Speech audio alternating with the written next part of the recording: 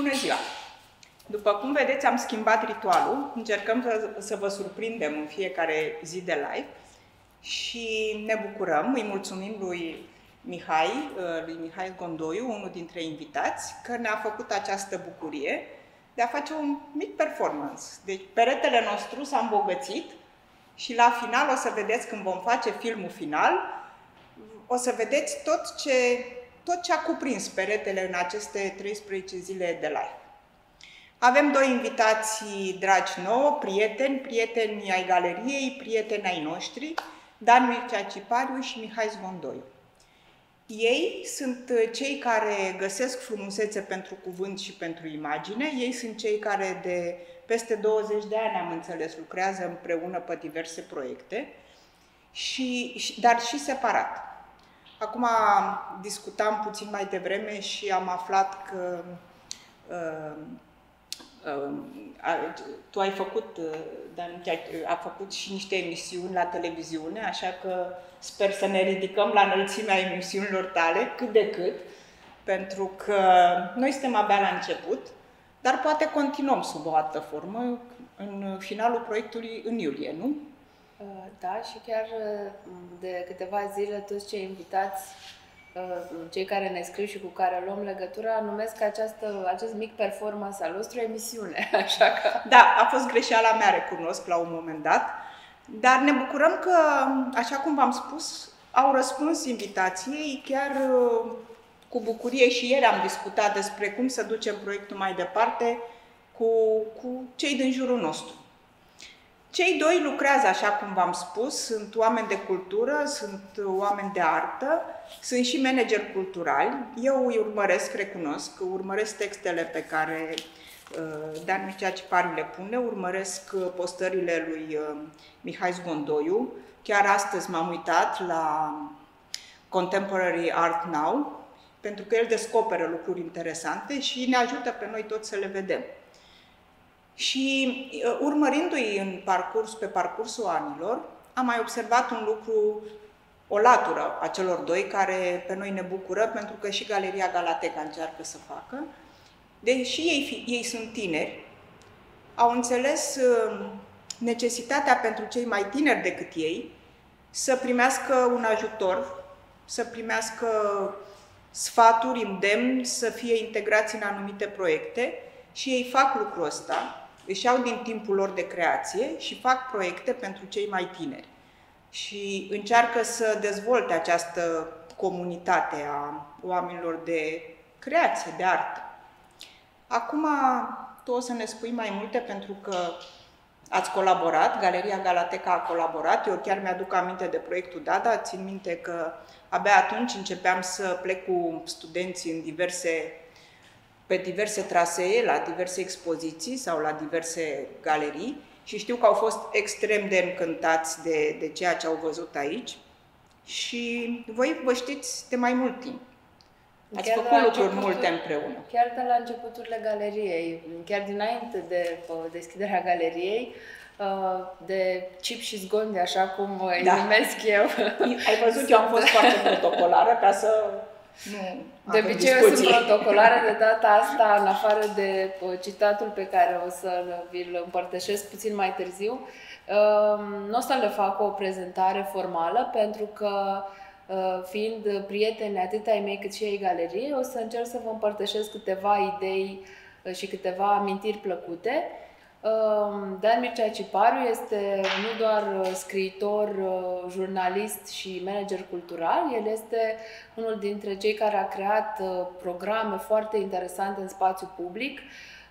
Eu l-am cunoscut la gala scriitorilor pe care de ani și ani de zile o tot organizează și o transmite în direct.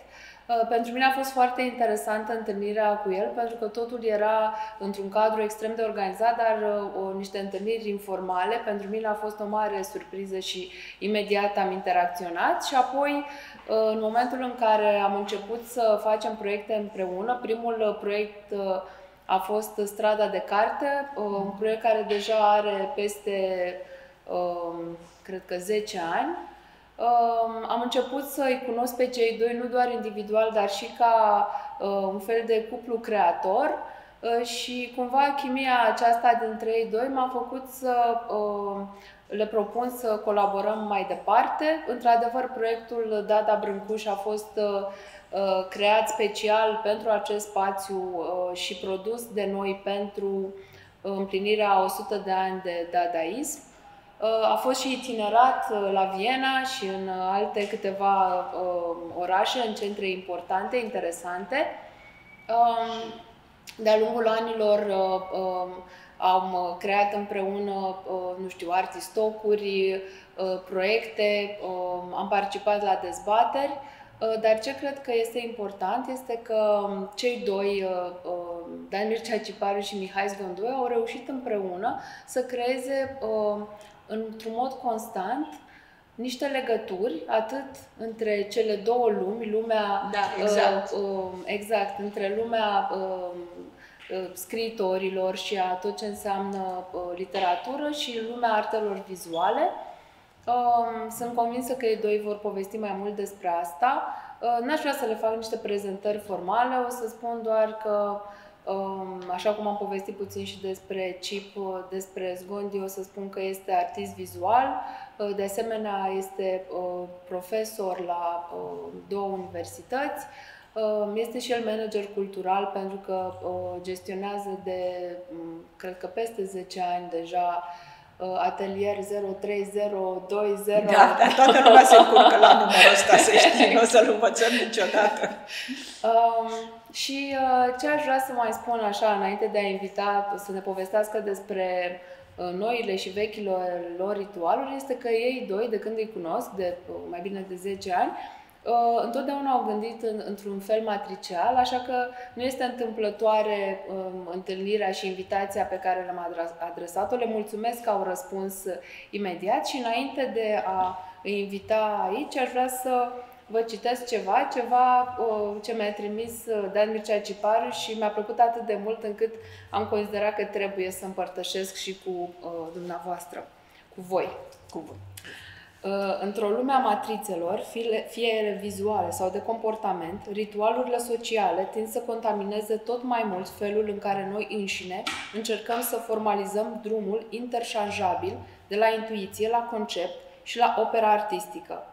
Visul meu este să rulez pe autostrada subconștient onirică până să ajung la esența unui act creator și terapeutic prin care să mă eliberez de reguli, tipare ori structuri formaliste. Să exersez astfel și dacă se poate mereu altfel un ritual de formare și deformare a unei imagini poetice ori a unei lumi posibile. Nu întâmplător despre matițe vizuale, mentale ori poetice, Dialoghez de mai bine de 20 de ani cu bunul meu prieten, Mihai Zgondoiu, un artist vizual complet care trece când cu spirit ludic, când cu rezonanță metafizică, peste mode și practici artistice seriale. În această notă vă invit, dragii mei, să ne povestiți da. despre ritualul. Suntem curioși voastre. să vedem ce s-a schimbat pentru voi, ce a adus nou și ce a scos această nebunie din o zi fastoasă, vă spune Dan Mircea Cipariu, alături de mine... Și invitatul său, Mihai Zgondoiu. De fapt, e tocmai invers, că de fapt Mihai Zgondoiu m-a invitat pe mine. Cred că nimeni nu o să știe cu adevărat cine a invitat pe cine în această după masă, dar evident bună după masă sau bună spre seară așa,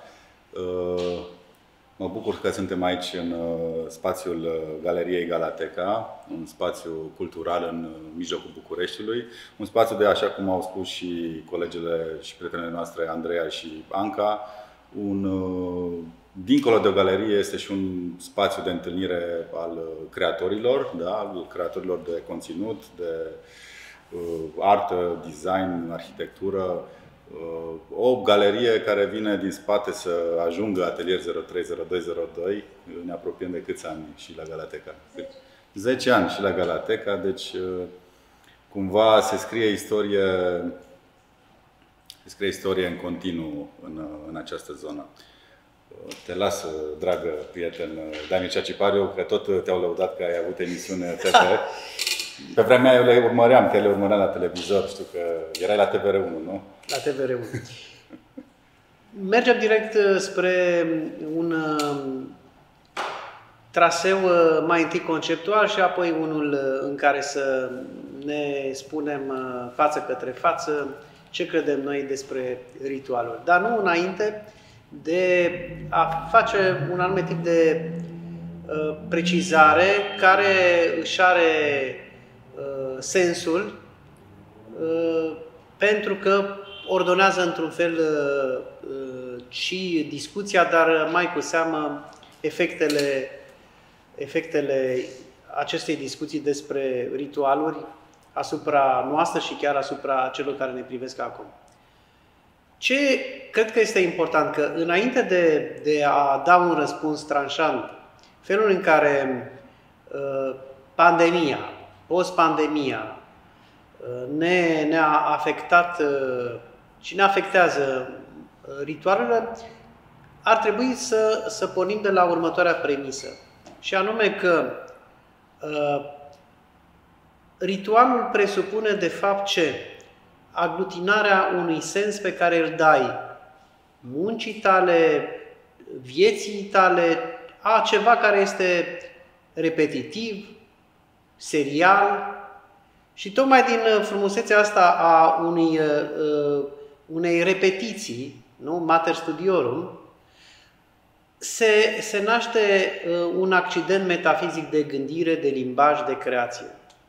Asta uh, cred că mi se pare importantă că, că fără asumarea acestei, uh, acestui fel de a înțelege viața ca un șir de uh, repetiții, de uh, matrițe, nu am putea să, să, să înțelegem, să dăm uh, însemnătate uh, felului în care fiecare dintre noi, în practicile sale artistice, fie că vorbim despre literatură, fie că vorbim despre arte vizuale, punem preț pe uh, meșteșug, pe uh, muncă, pe uh, exersare.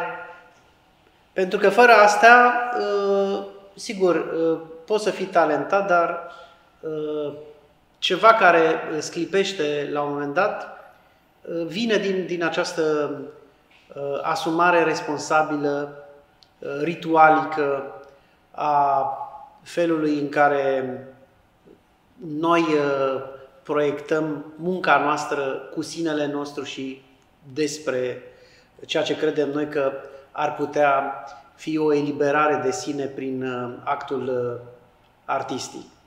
Așadar, dacă ajungem la ideea că, așa cum spuneam ceva mai de, devreme, uh, ritualul presupune o aglutinare de sens a ceva, a unei serialități, a unei repetiții, atunci trebuie să vedem cum uh, pandemia poate să schimbe acest uh, tip de aglutinare.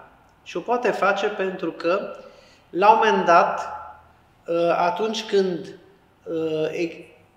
este aruncată în aer o formulă socială, cum o spunea bunul nostru prieten Traiante Coșovei, sigur e prelund de fapt dintr-un text patristic, dintr-un text, text biblic, față către față, chip către chip, atunci și felul în care noi uh, imaginăm uh, munca noastră se schimbă. Pentru că uh, în ritualul, uh, ritualul de creație a unui artist uh, presupune un plan, ca și, ca și la televiziune. Ai și prim plan, ai și plan 2, ai și, dar în opera vizuală, uneori, uh, mai ales în postmodernitate, contează mai degrabă, ajunge să conteze mai, mai mult un paspartu și în cazul nostru un paspartu social, un paspartu de comunicare, decât uh, subiectul în sine. Procesul devine mai, mai important decât uh, uh obiectul uh, artistic și în sine. Și uh, acum, după această punere, punere în scenă, o conceptualizare, dacă vreți, a, a ideii de, de ritual și de mai, mai cu seamă de ritual într-o practică artistică, Uh, îl întreb pe Mihai Zgondoiu, iar el îmi va pune aceeași întrebare puțin mai, mai încolo, uh, felul în care pandemia a schimbat uh, această aglutinare de sens a muncii noastre a practicilor noastre creative, a felului în care uh, noi încercăm de altfel uh, să uh, socializăm și așa mai departe. Foarte, foarte smart, uh, domnul Cip. Asta ca, o, ca de obicei, exact, ca o introducere. Uh, da, păi uh, evident că unele lucruri s-au schimbat. E un, a fost un tip de an, un tipar de an pe care noi nu l-am mai trăit și probabil nici câteva generații în, în spatele nostru. Din punct de vedere creativ, eu nu am simțit neapărat o problemă. Și aici poate mă repet spunând treaba asta, ca, ca virulă creator, și nu cred că sunt singur în, în acest caz, să fii în atelierul tău, în spațiul tău, nu este o problemă, adică să fii rupt de, rupt de lume, rupt de ceilalți prieteni, de, de evenimente sau de alte lucruri. Deci, până la urmă, retragerea asta în, în, în tine, în spațiul uh, de creație, în spațiul interior, a fost o binecuvântare și sunt convins că pentru multă lume. Eu am mai spus-o că mie mi-a venit mănușă după câțiva ani încărcați de, de proiecte să, să mă odihnesc puțin, să mă odihnesc cu, cu gândurile, să, să, să trag câteva concluzii, pentru că aici ar trebui să, să ajungem și la bă, să înțelegem un lucru interesant. Tehnologia ne aduce foarte multe lucruri bune. Sar puțin așa, gândirea mea este hiperlink și uh, trebuie să înțelegem și treaba asta pentru că suntem când pe telefon, când pe, pe, pe calculator. Deci, practic, uh, tehnologia ne-a adus foarte, foarte multe lucruri bune și ne aduce în continuare în, uh, în perioada aceasta. Adică ne ajută să comunicăm mai, mai ușor și pe canalele de, nu știu, Zoom, uh, Meet, uh, tot ce înseamnă. Adică ne, ne, ne aducem împreună mai aproape, dar într-un mod vitregit. Nu cel în care suntem obișnuiți să stăm uh, față în față. Astăzi mi-ar fi plăcut să stau cu public în Galateca, așa cum de obicei eram obișnuiți aici să nu ai loc să intri în, în acest spațiu, dar o facem excepție și cumva ne emulăm pe tendințele de astăzi și suntem în fața unei camere care transmite, nu? Transmite până și în America sau oriunde vrem, peste tot în glob. Deci tehnologia aduce lucruri foarte bune, dar în același timp și accelerează, accelerează enorm ritmul de viață. E bine, să mă întorc la partea de, de artist. Am ajuns într-un punct, cred că cu toții, în care nu mai avem timp să, să tragem concluzii nu mai avem timp să, să, uh, nu mai avem timp să creăm substanță. Alergăm și cred că în mare parte lăsăm ca lucrurile să ne poarte cu ele. Ca un val, așa. Asta va fi o problemă, cred eu, pe viitor, legată de, de orice am face. Pentru că noi nu o să putem să ținem pasul cu tehnologia decât dacă ne agradăm noi cu tehnologia, adică să devenim cyborg și sunt și astfel de, de teorii. Adică să apară acum ochelari cu inteligență artificială, cu, adică mâine, poimine o să avem uh, chipuri în noi. Asta este cumva. Dacă vrem să facem, să ținem pas cu tehnologia, o să fim acolo. Dacă nu, o să alergăm pe lângă tehnologie și, practic, conținutul nu va mai fi conținutul acela uh, pe care noi eram obișnuiți să-l, uh, să-l producem și să-l consumăm, înainte de. și vorbesc acum de 10-20 de ani înainte. Eu, eu îl văd ca un fel de, de, de vârf, practic. Pandemia a venit așa într-un, într-o ascensiune a tehnologiei care a propulsat-o și mai mult. Și da, ne schimbă viața și în bine, dar ne și ea.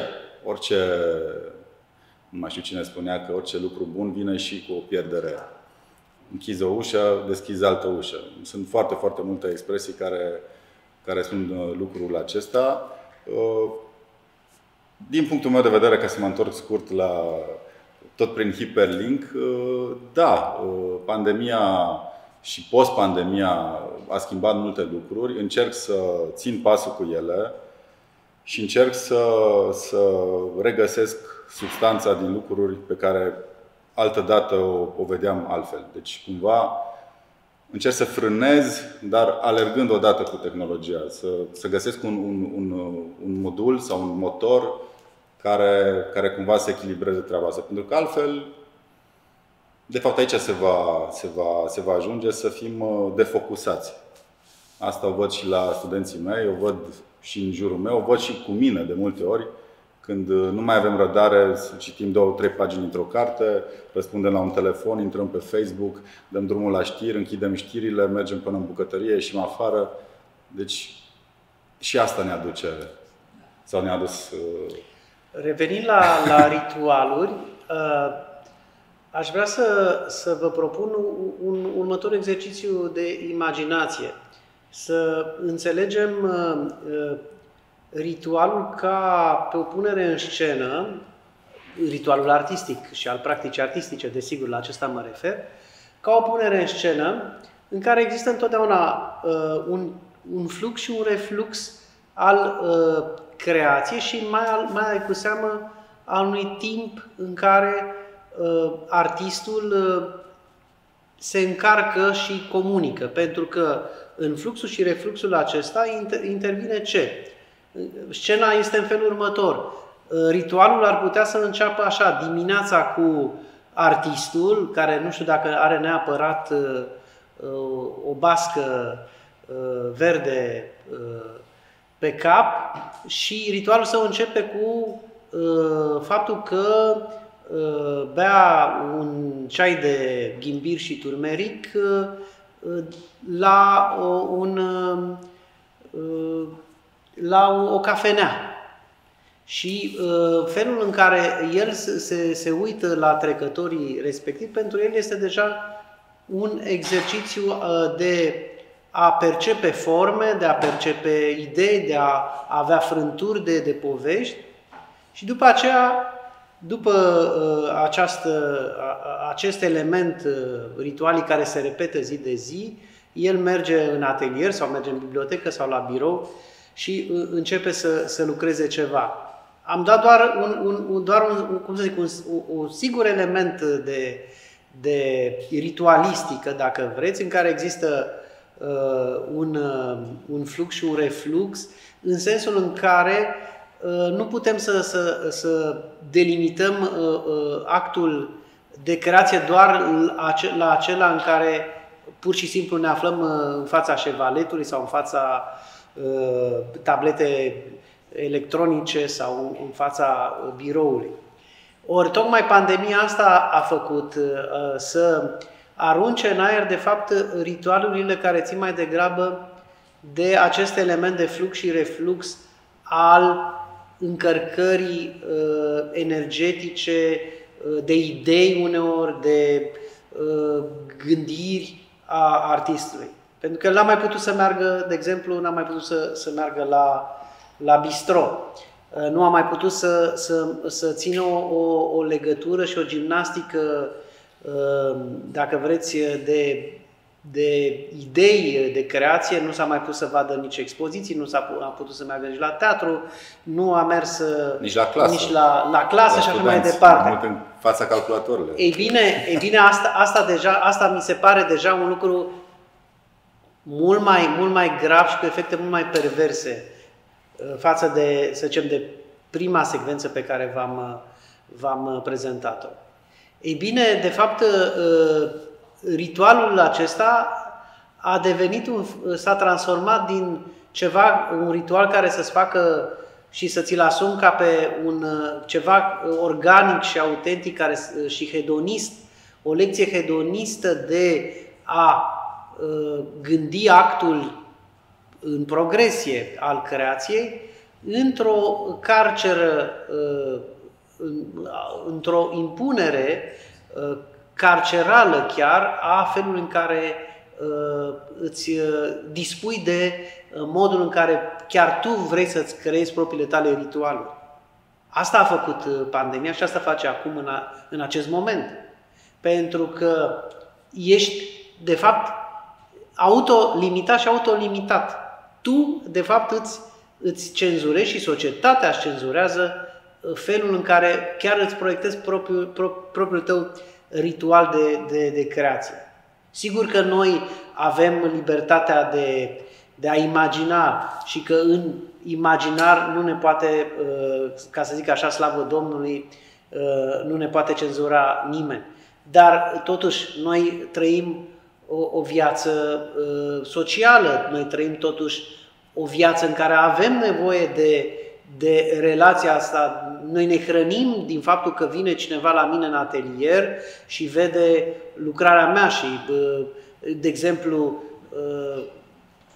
și noi când el citește text, textele mele, eu văd, text, văd operele lui vizuale, avem un schimb de, de, de opinii. Asta oricât mi-ar trimite el pe WhatsApp o fotografie a unei opere, nu mai poate fi o, o relație, pentru că Mihai a spus la un moment dat la început, spunea despre cameră. Noi totul, tot acum avem o, o relație mediată, mediată de capacitatea, capacitatea acestor tehnologii de a transmite cât mai rapid și depinde și de felul în care ai un receptor acasă ca să vezi mai bine sau mai prost ceea ce se întâmplă aici. Dar lipsește ceva fundamental. Lipsește ce? Revenind la față către față, chip către chip, este cunoașterea sinestezică. Cunoașterea sinestezică este esențială pentru orice tip de relație pe care o ai cu uh, opera de artă, cu obiectul de artă și cu artistul.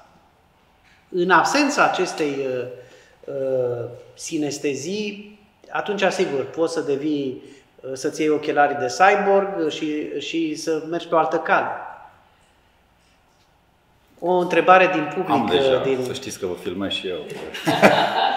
Așa. O să merg aici ca să se audă. Așa. Uh, tu ai punctat uh, ceva foarte interesant, ceva ce în uh, dialogul cu Petru Lucaci și cu cei doi tineri invitați ai săi, care de-abia absolvenți proaspeți ai Universității de Artă, Petru Lucaci ne-a făcut o prezentare acesta, cum a perceput el toată perioada asta, și din, dar și din punct de vedere al profesorului, al dascălului și a punctat exact lucrul acesta de uh, uh, mediere permanentă uh, a contactului. Uh, ceilalți doi uh, tineri artiști uh, au avut o opinie um, cumva la polul opus și am promis că voi continua această temă pentru că mi se pare foarte interesantă și au spus că, de fapt, sintetizez, că tehnologia a adus foarte mult uh, plus valoare pentru opera de artă în sine, pentru că în momentul în care ei creează uh, un, un, nu știu, o imagine, o imagine pe care, uh, nu știu, în uh, zona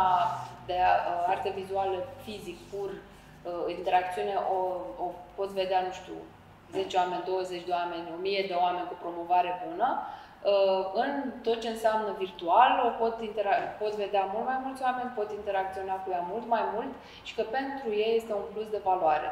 În afară de asta, au adăugat și că uh, tot ce înseamnă uh, universul acesta paralel de VR, IR și așa mai departe, inclusiv zona de NFT pe care o știți foarte bine, s-a dezvoltat extrem de mult și care mm, creează practic o nouă piață de artă, Uh, potențează foarte mult uh, uh, piața efectiv de artă vizuală. Te-aș întreba și v-aș întreba cum percepeți voi acest extenso al, al, al actului creator și dacă în tot ce se creează și rămâne virtual, nu neapărat că are valoare, pentru că evident că are valoare, cum ar trebui să se raporteze artistul și publicul la acea zonă de creație? În primul rând, o, o delimitare, dacă vrei, și de natură, iarăși conceptuală. Pe mine nu mă deranjează suportul, că e VR, că e uh, și pe șevale și așa mai departe. Pe mine, uh, tu ai, pus, eu, ai spus un cuvânt magic, care de fapt asta ne obsedează. Imagine. Opera artistică trebuie să, să facă diferența dintre să transceadă imaginea, pentru că Ehm, sigur, și Da Vinci, eh, când eh, la început eh, copiază pe maestrii săi, el spune la un moment dat, și de fapt asta ar trebui să, să ne intereseze pe toți, el vorbește despre ceea ce numește el moto mentale, adică o mișcare mentală. Dacă rămâne imaginea doar în, în imagine și nu creează și nu ți arată de fapt mișcarea mentală a artistului, atunci noi vorbim doar de o imagine, nu mai vorbim despre operă de artă. Sigur că pe, pe mine nu suportul mă, mă, mă deranjează. Pe mine mă interesează cum transformăm o imagine în, într-o uh, imagine artistică sau imagine poetică.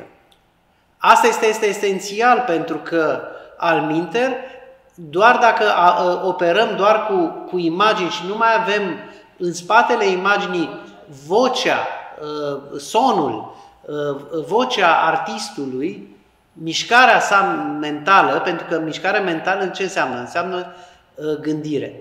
Vorba lui Arivald, ideea vine vorbind. Deci dacă eu nu văd o imagine care vine din vorbire, din felul, pentru că nu să, erau o, o, celebrele discuții din școala de simbolistă franceză. Ce face ca uh, și după aceea uh, la surrealiști cu Picasso și așa mai departe, ce, ce, ce este esențial?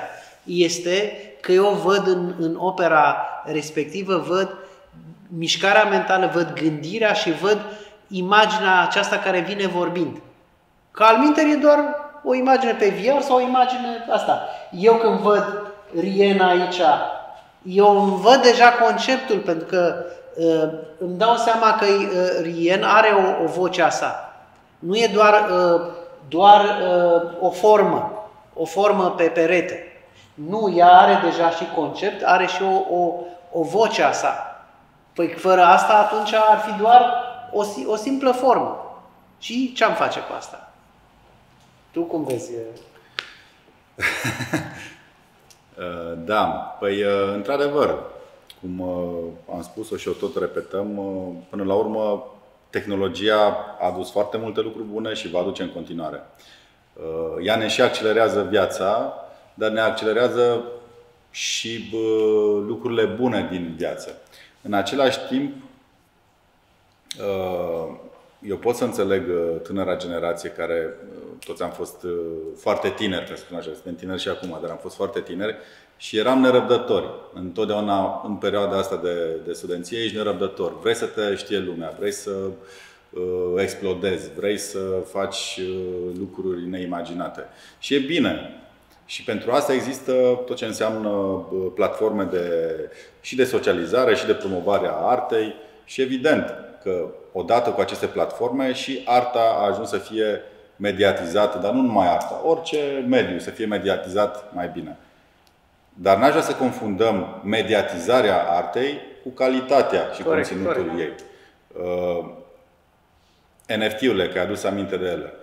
Uh, NFT-urile, din punctul meu de vedere, uh, chiar dacă așa s-a, dus, s-a pus problema că ar fi uh, forme de artă digitală, NFT-urile pot să fie și despre artă, dar nu sunt forme de artă. NFT-urile sunt coduri coduri care practic au în față orice, muzică, orice poți să pui pe ele. Deci ele sunt coduri și pentru ca, ca virgulă, creierul uman să înțeleagă un cod care nu-l vede, e ca și când îi spune wireless. Cum, cum vezi wireless E o iconiță sau îți explică cum e. Așa e și cu NFT-ul ăsta, da? E un non-fungible token, da? Deci e un cod și ca să-l înțelegi, atunci cel mai simplu a fost să pui o imagine. Pentru că omul prima dată vede imagini, nu înțelege sensul cuvintelor, prima dată el se raportează la imagini, compară. Nu? Și am pus o imagine. Dar ce am pus o imagine? Am pus niște ilustrații care sunt frumoase, sunt interesante. Bravo!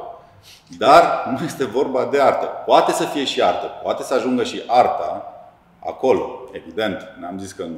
Dar deocamdată mie mi se pare tot ce înseamnă NFT-ul ăsta din punctul de vedere al artei, o bulă, care la un moment dat va mai liniști puțin spiritele și tranzacțiile astea fulminante. Pe de altă parte, pot să văd potențialul din spatele uh, criptomonedelor și a NFT-urilor și tot ce înseamnă, să zicem, criptocoduri, da? un potențial pe care încă din anii 80 ni l-au prezis uh, mulți uh, informaticieni, pentru că astăzi avem tehnologia necesară ca să fie pus în practică. NFT-urile și cripto n-a fost inventat nici ieri, nici alaltă ieri. Deci ele în concept sunt de aproape 40 de ani acolo.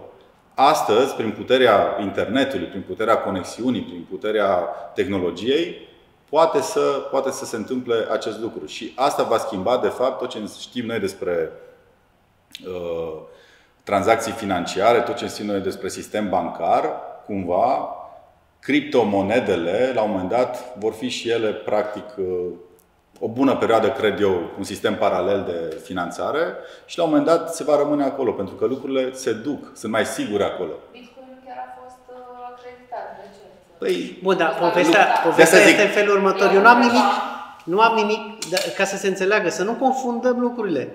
Una este mijlocul. Mijlocul este uh, Bitcoin, uh, cardul, telecomanda, internetul. Povestea este ce sens dăm noi acestui mijloc. Dacă mijlocul vine și, ne, și atunci el ne cotropește pe noi, înseamnă că noi avem o vină. Dar noi trebuie să dăm noi un sens, că de-aia suntem spiritual și de-aia facem creație. Adică trebuie să dăm oricărui mijloc, inclusiv acestui mijloc, să-i dăm un sens artistic, care înseamnă ce? O transcedere. Și ce spuneam mai devreme. Este exact ce spui tu, Încercăm să le spunem studenților după aceste cursuri online. Pentru că a fost o, pentru mine cel puțin... Uite-te la cameră ca să te vezi așa. nu, voi trebuie să vă vedeți. Nu, nu, că e important. Deci, exact asta am încercat dialogul cu studenții și le-am spus, exact cum spuneai, că nu contează că e pânză, că e ecran, că, dar trebuie să spui ceva, trebuie să ai idee, trebuie să ai concept. Dar ei încă nu înțeleg. Pe, pe ei fură, așa cum spuneai, vor repede, repede.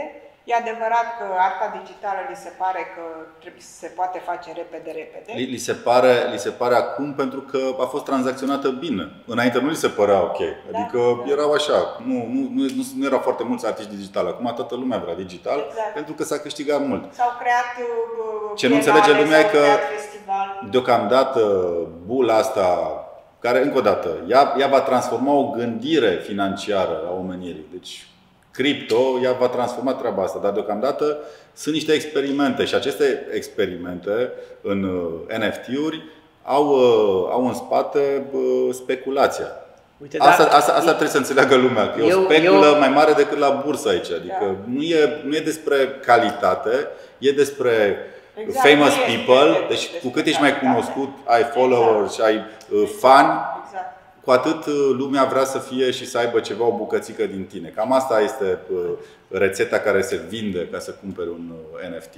Ceea ce poate funcționa până la urmă, sigur. Eu asta aștept. Aștept ca mijlocul să, să fie mijloc și să, să vină, mijloc, să vină un student exact. care știe foarte bine și cu tehnologia și asta, dar să facă un NFT și, de exemplu, să imagineze nu, pe un precursor a monedelor uh, electronice, pe un matematician și un poet român, uh, Ion Barbu, Dan Barbilian, care a scris pentru prima dată primul NFT din istoria umanității, nu? Riga Crypto și Lapona Enigel. Da.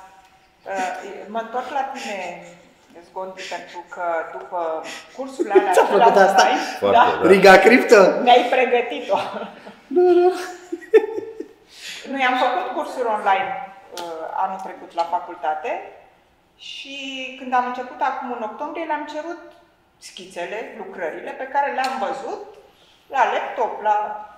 Și să știi că am avut surprize, unele plăcute, dar și unele foarte neplăcute, pentru că e clar, o schiță atât dacă tu nu o pui pe ecran, este Sigur ceva, în momentul în care ea e reală în fața mea, nu mai înseamnă nimic. Tu cum ai făcut? Pentru că tu ai fost și la două facultăți. Uh, că... La una dintre ele am, am predat, adică la cea din Timișoara, mai mult online, pentru că uh, acolo așa au fost regulile. Cumva Timișoara a stat foarte mult sub da. carantină și facultatea a fost închisă, deci a fost... Uh, acolo cumva pentru mine a fost destul de ofertant. Cursurile erau exact despre grafică digitală, introducere în grafică publicitară. Deci cumva au fost, terenul era, era bun. bun pentru că și dacă ne întâlneam la școală, ar fi trebuit să ne întâlnim cu laptopul, exact. să discutăm despre partea asta de digital. Uh, aici, la București, Aici, în, în schimb, da. unul dintre cursuri în care bazele construcției imaginii, în care și desenam cu ei după model, aici ne-a lipsit. Aștept uh, acum, pe final de după Paște, poate să prindem câteva cursuri în care se aduc, sunt totuși mulți, sunt 30 de oameni, sălile nu sunt foarte mari, nu se riscă nimeni și mai e o problemă, mai e o problemă apropo de uh, mulți dintre ei nu mai s-au obișnuit. Asta ei se obișnuiesc foarte repede. S-au obișnuit acasă, frumos, cafeluța, păpica, mama, tata. Uh, dar mai e și o altă problemă care ține de uh, un fond financiar, din nou, uh, fac raportare la asta, și care va influența partea asta de, de predare hibridă, care eu cred în ea. Adică lucrurile nu vor mai sta doar la școală, cred că va fi un tip de predare hibridă în viitor, care chiar va, va fi benefică. Mulți dintre ei nu locuiesc în București sau în Timișoara, în orașele unde sunt facultățile.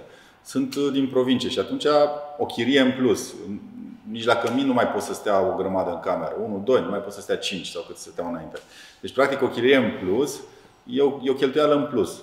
Acasă, oamenii n-au mai cheltuit atât. Și totuși au învățat. Au făcut școală. Eu când aud multe nu știu cum sunt în alte școli generale sau așa, dar la facultate totuși lucrurile s-au făcut. Din punctul meu de vedere, au fost mai solicitant în online, în care am făcut corectură cu fiecare în parte. Dacă era la clasă, poate la un moment dat 2, 3, 5 nu veneau, de exemplu, la un curs. Nu mai eram obligat să vin să revin cu corectură decât dacă mai veneau cu lucrarea a doua, a doua oră sau așa. Dar aici, ei dacă au postat, eu trebuia oricum să le răspund. Sau cumva a fost extra solicitant și cred că a adus un plus dacă cursurile, dacă cursurile au uh, aplicabilitatea asta pentru digital sunt binevenite, dacă nu, cum sunt foarte multe cursuri care țin de uh, practică, de un atelier, de tehnici, cum e gravura sau ceramica sau altele, acolo nu poți să înlocuiești nici cum, uh, nu poți să arăți o grămadă de tutoriale, nu are sens. Și cel mai important lucru, și aici uh, cred că și Anca l-a, l-a simțit cu studenții și cred că toți dascării până la urmă, cred că marea problemă va fi să-i readucem înapoi Uh, cu adevărat în clase, pentru că acolo, de fapt, lucrurile, cum povesteai tu de, de schimbul ăsta de, de energie și de, de idei, e mult mai profund. Uh, oamenii învață nu doar de la dască, învață și de la ei și de la ceilalți și învață și din întâmplările mai bune sau mai puțin bune, din exemplele mai bune sau mai puțin bune ale celorlalți. Uh, nu este doar despre unul la unul, da? despre comentariul unul la unul. Este despre o atmosferă. Este, sunt și exemplele clasice în care dacă ai două, trei, uh, să zic, o mâini bune într-o clasă, ridică clasa, o duce departe. Dacă ai studenți toți uniform, te chinui mai mult. Dacă nu ai nici atâta, uh, pui, depui efort și mai mult.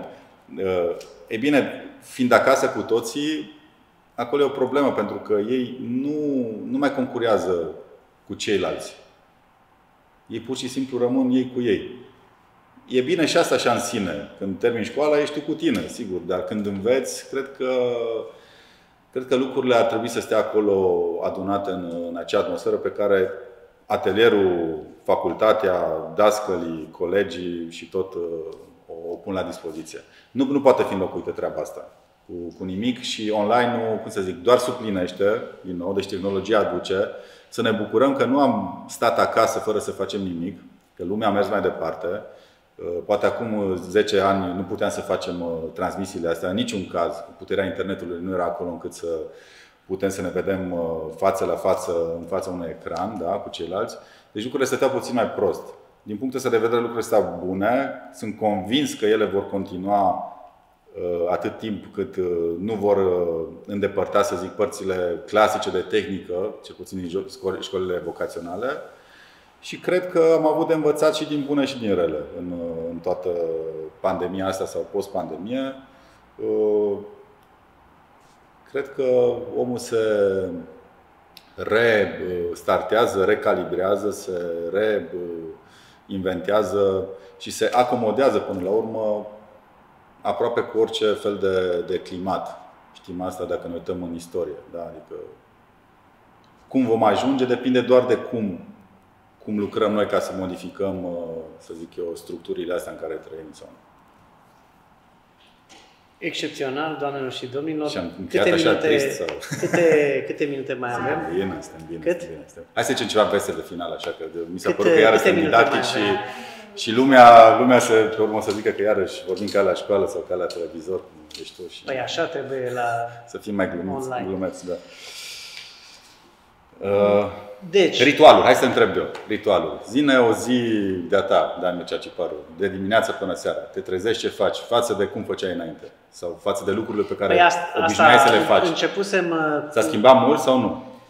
S-a schimbat pentru că elementul esențial uh, al socializ- a felului în care ies în oraș, văd uh, spectacole, mă întâlnesc cu oamenii la o masă, așa, uh, s-a, s-a schimbat, adică eu, noi toți am fost forțați în, în, în acest tip de recluziune uh, în care, sigur că uh, dacă ai o geografie interioară, ți-e, uș- ți-e mult mai ușor. Eu, slavă Domnului, o am. Adică nu, nu a fost pentru mine a Cosmos. fost da, pentru mine a fost uh, cum să zic, absolut minunat faptul că am putut în trei luni de zile să anul trecut să scriu teza de doctorat pe care în trei ani de zile nu reușisem să o, să o scriu.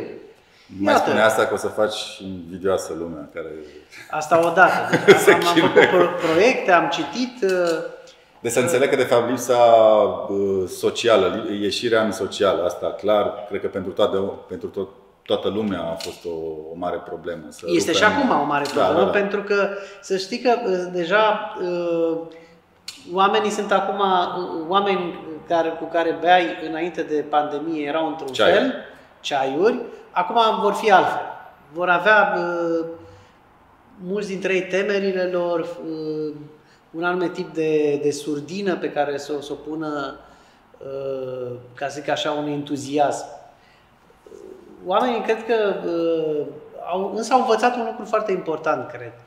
Uh, anume un, uh, ceea ce consumismul ăsta a dus până la, la exasperare a distrus. Uh, anume uh, nevoia asta de rezonanță socială, de altruism. Oamenii uh, acum uh, îi simt că sunt parcă mai atenți la, la, la celălalt, uh, la nevoia de Este un lucru celălalt, bun. ceea ce e un lucru bun. A, asta, asta mi se pare Deci un avem și lucruri bune. Hai să mai nu, căutăm întâmpl- lucruri nu bune. întâmplător uh, Comisia Europeană nu lucrează la uh, Planul European de Re- Reziliență, nu? Da, un call center pentru singurătate. Cred că s-a făcut și asta, bănuiesc, nu? Da, bineînțeles. în, uh, în Spania, uh, guvernul uh, plătește uh, psihologii și acum am văzut că și ministrul nostru al uh, Deci am intuit, nu învățământului, știam. învățământului uh, uh, vrea să angajeze 3-4 mii de uh, oameni uh, specializați în uh, uh, asistență psihologică pentru licei. Nu știu cum o, când o să reușească lucrurile astea tehnic, dar mă rog, intenția mi se Ideea pare, este bună, sigur. pare bună. Bun, și acum să spun de, de ritual. Uh, ritualul meu dinainte de uh, pandemie uh, era unul extrem de, de dinamic, de, adică cred că uneori, uh, uh, cred că am spus uh, Erai mai gluma dinamic asta, decât, uh, Decât dinamica din- în sine. decât din- dinamica în sine și uh, îi, îi spuneam, uh, îi spuneam uh, lui Zgondi și uh, soției mele, ce, ce ai făcut astăzi? Și eu spuneam, zic, astăzi am uh, uh, vizitat, uh, ajunsesem la un moment dat să am între un minim 5 bistrou restaurante, un minim, așa, sau 11 sau 12 Și biblioteci. și biblioteci. Ei bine, uh, iată că... De ce? Pentru că, pentru că ce se întâmplă? Eu mă, mă, mă încărcam, adică uh, discutând cu oameni, stând la taifas. uh, Pentru mine asta era, era, era un, un proces deschis de, de, de a, a exersa m- felurite forme de, de, de uh, dialog, de, de gândiri. Asta nu mai e. Acum nu știu ce se va întâmpla post-pandemie. Dar întotdeauna există uh, și partea bună și partea rea. Eu am uh, lu- uh, lucrez acum la o carte de eseuri care despre filozofia lui pe de altă parte. Pe de altă parte, iată că uh, și pandemia are și lucrurile sale uh, pe- pe care le-a adus uh, bune. Adică, nu, cum se spune, în tot răul există și un bine. Asta este viața. Viața este pe această uh, logică uh, duală, e și bine, e și uh, mai puțin bine și așa mai departe. Asta era ideea, să vă rugăm acum spre final, pentru că recunosc personal mi-ai lămurit conceptul acestui proiect în cuvintele alea pe care trebuia să le găsească toată lumea. Dar vreau să vă întrebăm ce planuri aveți pentru anul Avem ăsta? mai planuri de viitor. Care sunt planurile de viitor? Exact. Avem asta planuri, este planuri de întrebarea. viitor. Pentru asta, ca să vă spun, uh, trebuie să- că a spus Gondi să spun ceva vesel la, la final, planul de viitor. Am călătorit acum câțiva 10-15 ani de la București la Iași cu trenul uh, cu clasa 1. Am călătorit cu o fetiță blondă cu ochii albaștri, care cred că avea 10 sau 11 ani și care avea o salbă de uh, Napoleon de cocoșei de aur la gât. Era și este uh, fata bulibașe din Iași. Și călătorind, gândindu-mă că provine într-o familie în care se practică arte divinatorii, uh, ghicit, uh, proiecții și așa mai departe, uh, am întrebat-o așa cum întrebați uh, și voi, pe mine, uh, pe fata bulibașe din Iași, cum vezi tu viitorul? Și fata bulibașe din Iași a răspuns, cum vezi tu viitorul? Până în prezent e foarte bun. Așa și eu vă spun că uh, lucrez la această carte uh, despre filozofia lui pe de altă parte. Uh, gândim niște proiecte, eu și cu, cu Zgondi anul acesta, să sperăm că o să găsim uh, uh, finanțare pentru ele uh, și cam asta ar fi în mare parte. Zgondi, ai uh, legătura. Am legătura. Păi da, proiecte de viitor, proiecte de prezent, ca să spunem așa, că viitorul deocamdată e acum aici cu noi. Uh, Sunt uh, destul de multe lucruri uh, la care, cum a spus și Dan, unele uh, le lucrăm împreună, altele separat. Uh, Încă o dată, nu vreau să sune prost, dar anul trecut și cât și anul acesta am, am avut la fel de multe proiecte, fie ele digitale, uh, uh, fie ele într-un spațiu in situ, da? Uh, Nu, nu vreau să mă plâng pe partea asta că lucrurile au mers, uh, au mers în continuare. Uh, Dacă ar fi să fie dor de ceva, mi-e dor, de, cum am spus și înainte, de uh, locurile uh, de artă care erau mult mai populate, uh, de întâlnirile cu, cu, cu artiștii și de discuțiile care nu aveau un, un termen de expirare și aici mă refer la ore de intrat în casă și ieșit din casă, de fapt la socializare, pentru că socializarea asta, de fapt, între, între creatori naște idei și, de fapt, vorbitul în sine naște o idee în timp ce, în timp ce vorbești. Cred că, cred că lucrurile acestea le ne lipsesc cel mai mult, indiferent de probleme financiare sau, evident, și sănătatea este foarte importantă și probleme financiare, dar cred că ne lipsește cel mai mult umanitatea din, din noi, din ceilalți și aici va fi o problemă mai mică sau mai mare să ne recucerim practic această parte de, de, de umanitate, de socializare. Aștept să ne întâlnim data viitoare cu public, ca să închei cu public și nu cu hashtag Grien. Da? Hashtag Grien va fi întotdeauna în jurul meu și în jurul prietenilor mei. El spune mult mai multe decât nimicul din el, de aici, da?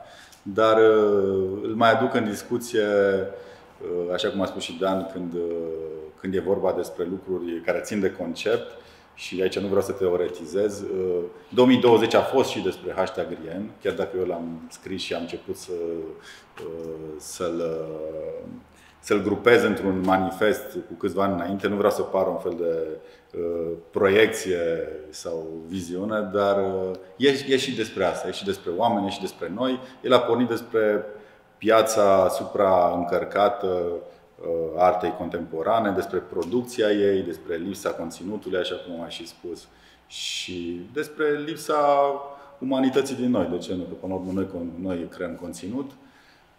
Sper să, să ajungem să producem mai puțin și mai puțin balastru, mai puțină cantitate și să uh, și mai mult conținut. Cred că asta e cel mai important. Asta le doresc și studenților mei și alor, altor profesori, pentru că uh, nu cred că trebuie să fim profesori doar a unor studenți. Putem să fim profesori și fără să predăm la facultăți sau la școli, prin uh, simplu fapt că dăm niște sfaturi bune. Deci, până la urmă, contează de cum ne raportăm și ce vrem să, să facem mai departe. Nu? Îi mulțumesc uh, invitatului meu special uh, din această seară Contactless, domnul Mihai Zgondoiu, din figura alăturată. Mulțumim artist. domnului Dani Ciacipariu, scriitor și artist în timpul liber. Tu ai și expus cu noi de, mai de mult în Așa este. de creație. Mulțumim uh, Galateca, mulțumim uh, Anca, mulțumim Andreea. Noi vă mulțumim uh, și o să Mulțumim Cristi. Ai văzut Cristi. că la ProTV tot timpul se spune și cameramanul din spate. Da, și noi facem asta, pentru că...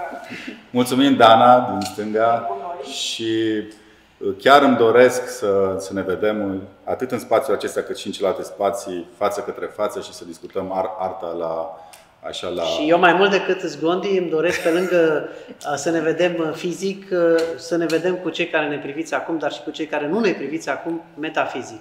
Vă mulțumesc. Nu mai zic nimic. Să vă rugăm să acceptați a. ritualul. Așa, ce a, trebuie care să facem? A, trebuie să ne semnăm, Să nu? vă semnați, să desemnați, uite, tu poți chiar acolo lângă rienul nu, tău. Nu, nu, nu, fac asta. Nu, nu, el, nu, nu așa, tu, fac așa. A, așa, da. el, unde, unde vrei tu. Da? Vrei, uite, eu pot să-ți dau. Am înțeles. Foarte. Nu, nu, stai că nu pun aici, nu, pun aici. Pun așa, da. Și mă, doar mă semnez, nu? Desen, poți să scrii ceva, poți să desenezi, da. poți să ne lași un mesaj, da, da, da, poți să ne lași un cuvânt. Și noi vom avea dovada, mărturia, că ați fost alături de noi și că ați vrut să fiți în proiectul ăsta, care asta a vrut, de fapt.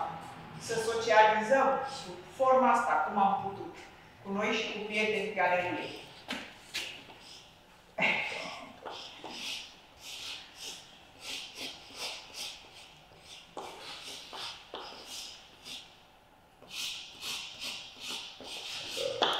Cu același text ca cele pe... Lucrare. Lucrarea pe care am lăsat-o aici în